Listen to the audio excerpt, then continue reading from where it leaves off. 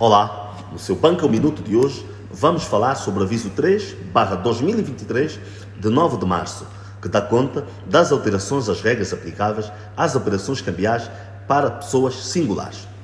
Uh, havendo a necessidade de se proceder ao alinhamento do mercado financeiro nacional aos padrões internacionais no domínio financeiro, de prevenção de branqueamento de capitais, uh, financiamento do terrorismo, bem como a proliferação de arma de distribuição em massa, o Banco Nacional de Angola procedeu, através desse aviso, à alteração das regras aplicáveis às operações cambiais de pessoas singulares, tendo como essencial as seguintes alterações. Uh, o valor das operações cambiais de cada ordenador não pode exceder a sua capacidade financeira, independentemente da finalidade ou instrumento de pagamento. Ou seja, nenhum cidadão poderá transferir valores superiores à sua capacidade financeira. Se você ganha 500 mil kwanzas, não poderá fazer transferências para o exterior superior ao seu ordenado, excetuando quando há outros rendimentos devidamente justificados. E o Banco Nacional de Angola, neste aviso, vai mais a fundo, colocando como limite 250 mil dólares americanos como valor global para transferência anual para todos os residentes cambiais. Ou seja, todo residente cambial não poderá fazer durante um ano, no total das suas transferências, valores superiores a 250 mil dólares. E para os residentes não cambiais, o Banco Nacional de Angola eh, define que para todo residente cambial que trabalha legalmente em Angola, pode fazer transferências a qualquer altura dos seus ordenados, desde que seja feito numa data superior ao seu recebimento, ou seja, depois sempre de receber o ordenado.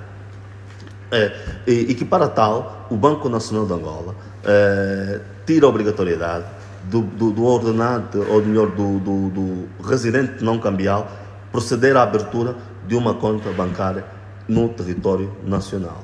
Ou seja, a empresa que contratou este residente não cambial pode proceder à transferência da conta da empresa para a conta do beneficiário, neste caso o colaborador, no exterior do país, excetuando se o contrato entre ambas for superior a 12 meses. Ali, o não residente cambial deverá abrir uma conta bancária em qualquer instituição financeira nacional e a empresa deverá pagar os seus ordenados nessa instituição e, a partir daí, o mesmo proceder à transferência para o seu país, para a sua conta no exterior. Eh, e também, para os residentes cambiais, o Banco Nacional de Angola, neste aviso, deixa a, seguinte nota ficam uh, isentas ou dispensadas a obrigatoriedade da apresentação de documentos de suporte para operações para o exterior. Ou seja, não será, o, banco não obrigará que uh, o cidadão residente cambial, ao proceder uma transferência, leve documentos de suporte, como relatório médico, e qualquer outro documento que venha justificar a, a, a necessidade de proceder a esta transferência, excetuando se porventura haver, por parte do banco, suspeita de alguma ilicitude na proveniência desses valores. Eh, para a melhor percepção deste vídeo, para as pessoas que eventualmente eh, menos percebem de alguns termos, eu vou explicar o que é que é residente cambial. Residente cambial é todo cidadão uh, angolano ou estrangeiro que viva legalmente em Angola.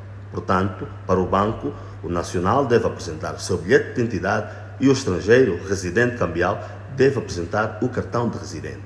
Todos os outros cidadãos que não sejam residentes cambiais, que deverão apresentar, ou melhor, que possuem, estão em Angola através de um visto, são identificados como não residentes cambiais. Esperamos ter feito o melhor resumo em relação ao aviso 3 barra 2023 de 9 de março. Este foi o seu Banco ao Minuto de hoje. O meu nome é Whitman Luamba.